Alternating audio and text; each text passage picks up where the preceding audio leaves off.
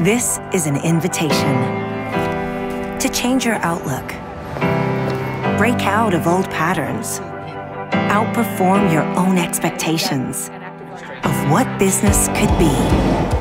Because when you care about the outcome on a personal, professional, and global scale,